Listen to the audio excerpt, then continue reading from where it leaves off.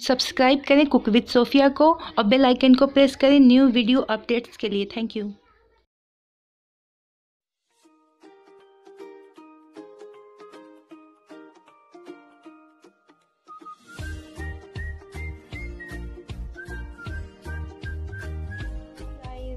Welcome back to my channel. आज मैं आपको चीज़ी ब्रस्ट कटलेट की रेसिपी देने जा रही हूँ, जो कि बहुत ही चीज़ी और बहुत ही माउथ वाटरिंग है। ये वैलेंटाइन डे स्पेशल डिश मैंने आपके लिए बनाई है तो ये काफ़ी इंटरेस्टिंग होने वाली है और मैंने इसे काफ़ी चीज़ी बनाया है। बिल्कुल ये चीज़ से भरा हुआ है, बिल्कुल चीज़ी बस कटलेट है ये।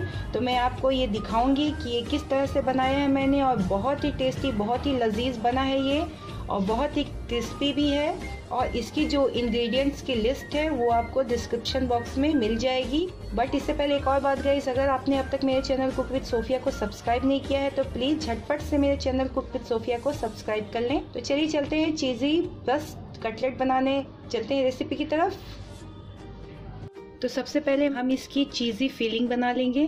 तो इसके लिए मैंने एक छोटी कढ़ाई को गैस पे रखा है। जैसे ही हल्की गर्म होगी, हम इसमें वन टेबल स्पून मिल्क डाल देंगे। ये देखिए, मैंने इसमें one tablespoon milk add कर दिया है। इसके साथ ही हम इसमें वन टेबल स्पून बटर डाल देंगे। इसे हम मेल्ट कर लेंगे इसमें अच्छी तरीके से। ये देखिए, इसमें पूरी तरीके से मेल्ट हो चुका है। अब मैं इसमें चीज़ के स्लाइसेस ये मैंने दो चीज़ के स्लाइसेस लिए हुए हैं। ये है प्रोसेस चीज़ ये मैं इसमें डाल दूँगी। आपके पास क्यूब्स होंगे तो आप क्यूब्स ले लें। मेरे पास नहीं थे, मैं इसी का यूज़ कर रही हूँ। तो दो स्लाइसेस को मैंने ऐसे तोड़ लिया है। अब मैं इसमें इसे डाल दूँगी। ये देखिए, ये अच्छे से मेल्ट हो चुका है। अब मैंने गैस को कर दिया है ऑफ़। अब मैं इसमें वन पिंच के करीब फ्रेशली क्रस्ट ब्लैक पेपर इसमें ऐड कर दूँगी। ये टोटली ऑप्शनल है, आप चाहे तो इसे स्किप भी कर सकते हैं, बट इससे इसका टेस्ट काफ़ी अच्छा आ जाता है सो मैं इसे ऐड कर रही हूँ। अच्छे से मिक्स कर लें इसे। ये बहुत ही अच्छी सी चीज़ी फिलिंग हमारी बन करके तैयार हो चुकी है। अब हमें इसे फ्रिज में रख देना है ताकि ये सेट हो जाए। तो चलिए इसे फ्रिज में रख देते हैं थर्टी मिनट्स के लिए। जब तक वो सेट हो रहा है फ्रिज में, तब तक हम इसकी टिक्की की प्रिपरेशन कर लेते हैं। तो इसके लिए मैंने एक पैन को गैस पे रख दिया है। अब जैसे ये गर्म होगा, हम इसमें ऑयल ऐड कर देंगे।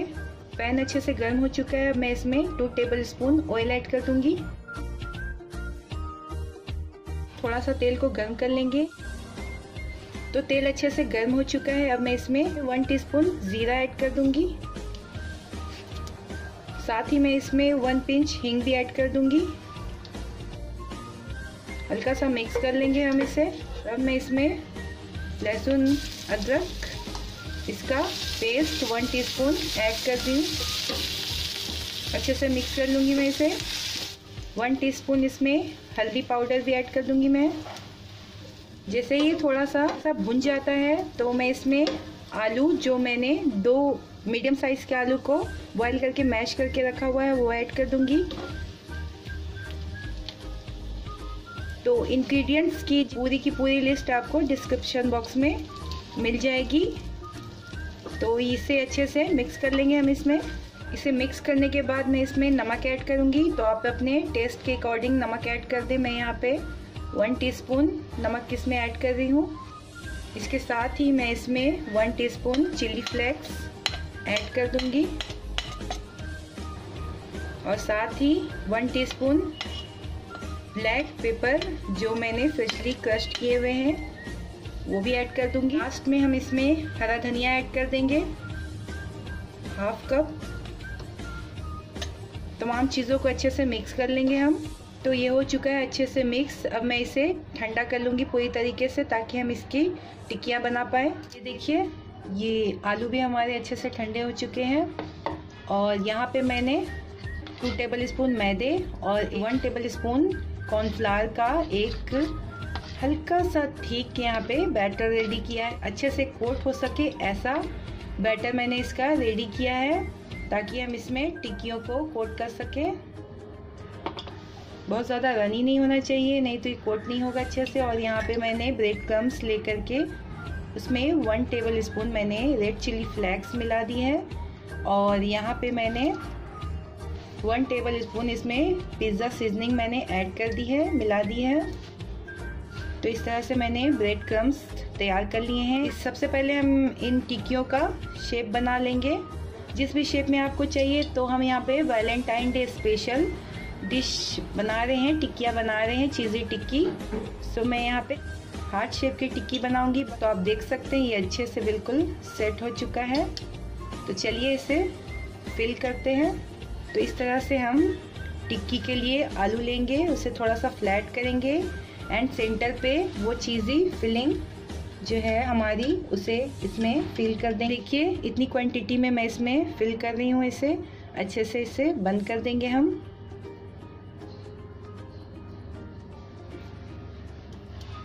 एंड इस तरह से हम इसे राउंड करेंगे।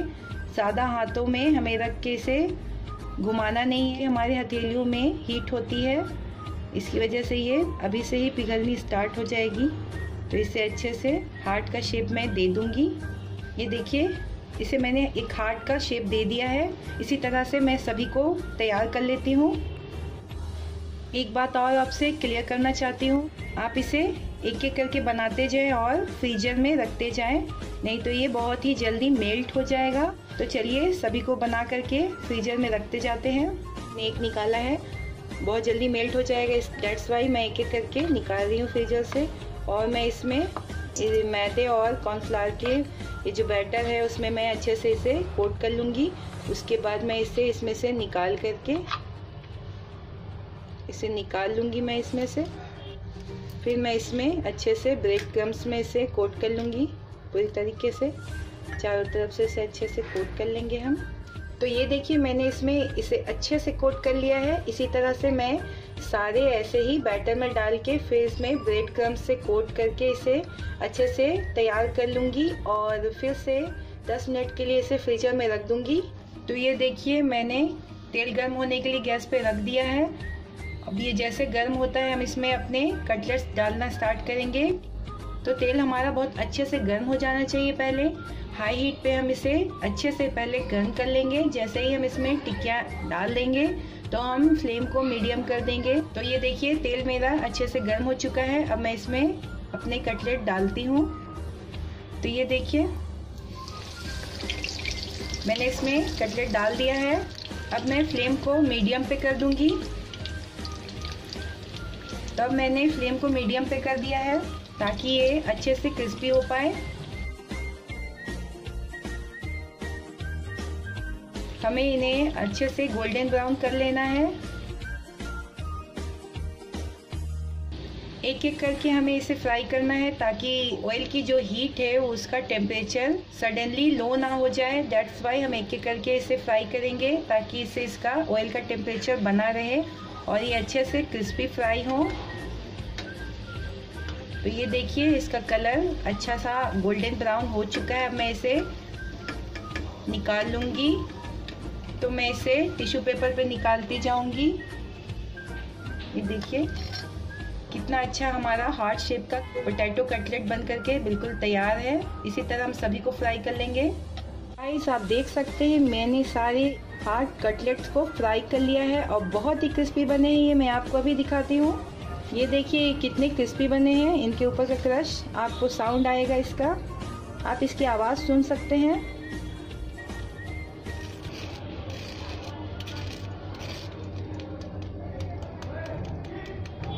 तो देखा आपने, ये कितने क्रिस्पी बने हैं। ये मैंने आपको वैलेंटाइन डे स्पेशल बताया है। और सबसे मज़ेदार बात यह है कि इसके अंदर चीज़ भरी पड़ी हुई है और बहुत ज़्यादा ये फुल ऑफ़ चीज़ है। आप देख सकते हैं, मैं आपको कट करके भी दिखाऊँगी ये कितना चीज़ी है। चीज़ी बस कटलेट है ये। तो मैं आपको इसे कट करके भी दिखा रही हूँ। मैं आपको दिखाती हूँ ये कितना ज़्यादा चीज़ी है। ये चीज़ी बस्ट कटलेट इसलिए है क्योंकि ये बहुत ज़्यादा चीज़ी है। मैं आपको इसका, देखिए, इसका साउंड आप देख सकते हैं, ये कितना ज़्यादा क्रंची है। और आप देखें, ये कितना चीज़ी है अंदर से। ये देखिए, कितना ज़्यादा ये चीज़ी है। आप इसे देख सकते हैं। ये देखिए, ये कितना ज़्यादा, ऊपर से कितना ज़्यादा क्रंची और अंदर से कितना ज़्यादा ये चीज़ी है माउथ वाटरिंग है तो आप भी इसे ज़रूर बनाएँ।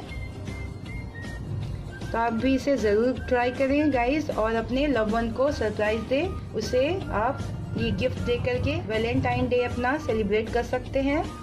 तो अगर आपको ये मेरी चीज़ी बस कटलेट की रेसिपी अच्छी लगी तो प्लीज़ गाइस इस वीडियो को फटाफट से लाइक ज़रूर कर दें और मेरे चैनल को सब्सक्राइब ज़रूर से ज़रूर करें। ऐसे ही अच्छी अच्छी रेसिपी के साथ मिलती रहूँगी आपसे।